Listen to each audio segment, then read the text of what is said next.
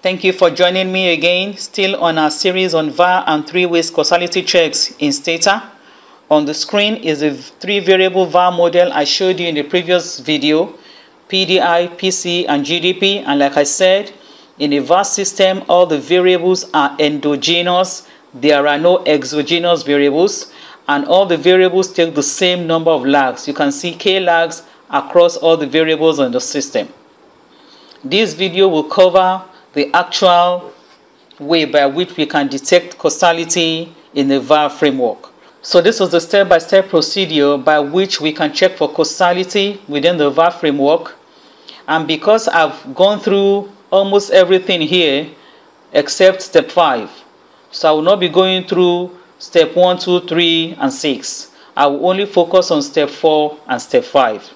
So please, if you know you have not watched my video on VAR estimation and discussion, VAR estimation and diagnostics, I will encourage you to please do so so that we can all be on the same page in this tutorial. So having said all this, let us now go over to Stata to continue from where we start. So here's the data editor from where you can see the variables we are using. These are the three variables that make up the VAR system. And I will always encourage every Stata user to have a log file. The log file makes your life simple. It's able to track what you've done and you can easily replicate your research. Okay, the do file is up and ready to run with all the codes in place. So we can see step 1 is done. I've specified the model. Step 2, I need to run this command to prepare Stata to execute all my time series commands. So I've highlighted it. I click run. So this is the outcome from Stata. If you don't execute the tset command, Stata will not execute your time series syntax. Okay, step 3, perform stationarity test. I'll skip this. Please watch my video on augmented Dickey-Fuller or any of my videos on VAR ARDL using Stata. The steps are very simple and my explanations are also very simple. Step 4. Determine optimal lag length for the model. Again, I'm going to skip this, so make sure you watch my video on how to determine optimal lags or any of my videos in VAR using Stata. So I'm going to begin today's video from step 5. Specify the unrestricted VAR model. The code is written out, you can see it here, and I'm using two lags based on the outcome of AIC. So I highlight all this and I run it. So here we have the outcome from the VAR execution. So this is the output from Stata. You can see it all here. And the way Stata arranges the table is that the outcome variable is indicated at the top left corner and all the other regressors are listed here. We can see the coefficients, the respective standard errors, disease statistics, and the probability values. So we'll be basing all our inferences from the p-values to know whether that regressor is significant or not. So here we can see that the first lag of PCE is significant at the 1% level and the second lag of PCE is significant at the 10% level. So we can easily see here that both lags of the PCE variable have causal effects on PDI. For the GDP variable, we can see that it has a significant effect at the 5% level on PDI. So we can also infer that GDP causes PDI. Let's look at the PCE equation.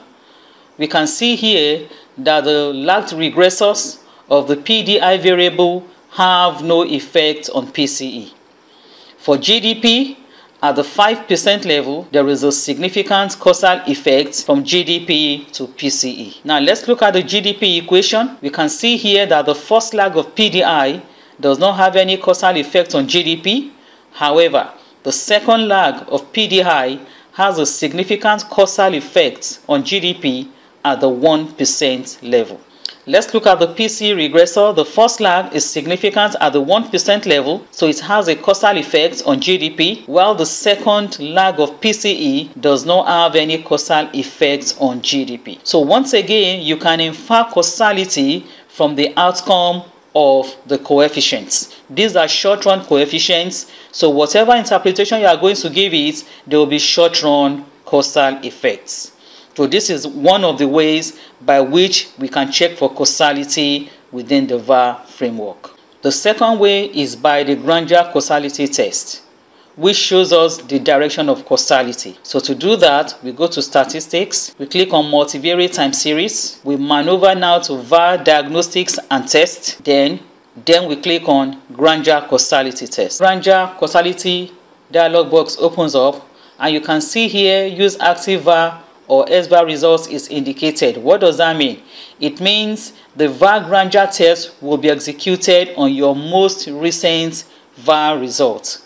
So since I just recently executed one, so I'm going to leave this button the way it is. I'm not going to add any other thing. I'll just simply click OK. So here we have the outcome of the Granger causality Wald test. And remember I said this gives you the direction of causality. And what will be your decision criteria? You reject the null hypothesis of no causality if the p-value is lower or equal to 0.05. So if the p-value is higher than 0.05, we cannot reject the null hypothesis of no Granger causality. So let's interpret this table. This is the PDI equation and these are the regressors. So the excluded here is simply telling you that the null hypothesis is that PCE does not Granger cause PDI. And looking at the p-value, which is very significant at the 1% level, we are rejecting that null hypothesis. And we conclude that PCE Granger causes PDI. For GDP, we cannot reject that null hypothesis.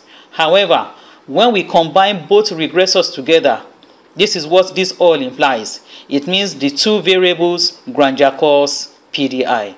So that is how you interpret your Granger causality table. Let's look at the PC equation. From the p-value here, which is above 0.05, we cannot reject the null hypothesis that there is no causality from PDI to PCE. But when we are looking at GDP to PCE, we are rejecting that null hypothesis. So that is GDP Granger causes PCE. When we take the two variables together, both of them now Granger cause PCE. That is the all. Let's look at the GDP equation. PDI and PCE both Granger cause GDP.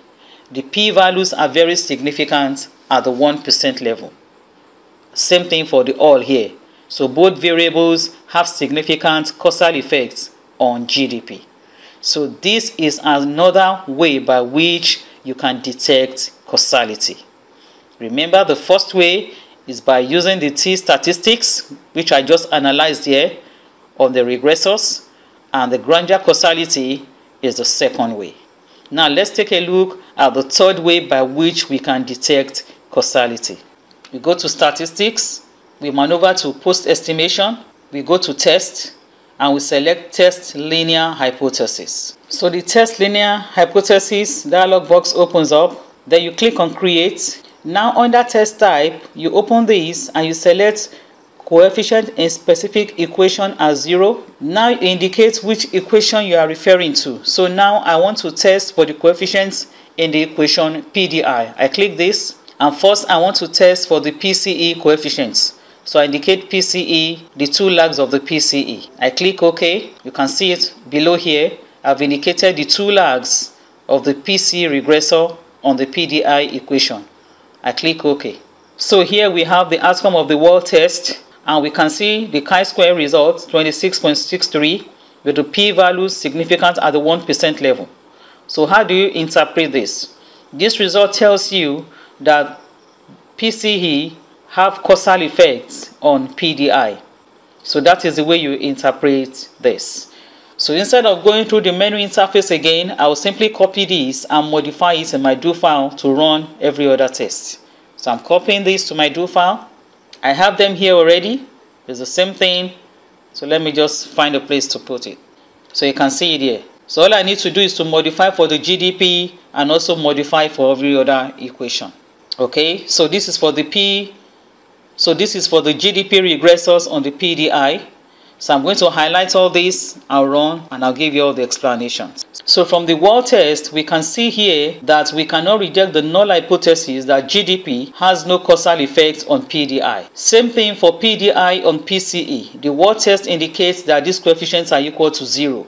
So our conclusion is that PDI has no causal effect on PCE. However, GDP has causal effect on PCE looking at the significant value of the chi-square statistic. Same thing, we can say that PDI causes GDP looking at the significant value of the chi-square statistic is significant at the 1% level. Also, PCE causes GDP from the outcome of the Wald test, we can see that the chi-square value is significant at the 1% level. So this is the third way by which you can check for causality within the VAR framework.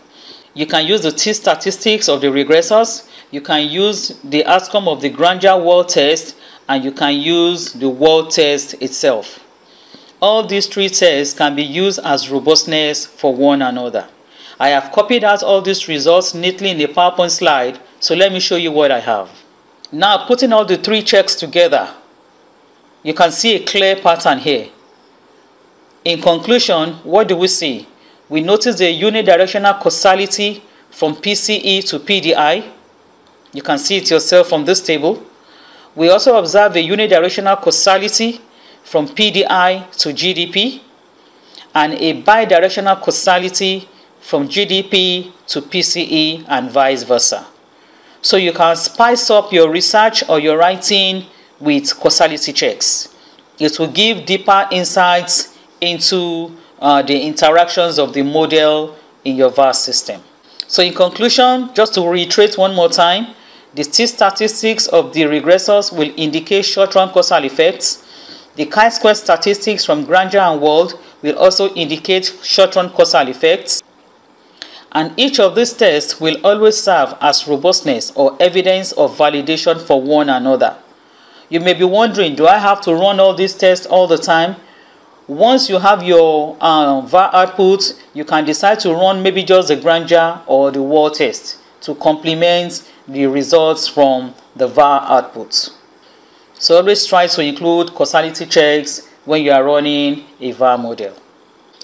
Again, if you need to read up on VAR and causality checks, please, these references are very simple. Go through them, download or read up several journal articles and see how they were able to analyze their results from causality checks. Thank you one more time. It's always a good moment teaching you guys. Thank you for encouraging me by your comments and by your likes. Thank you for sharing my videos. I appreciate you all.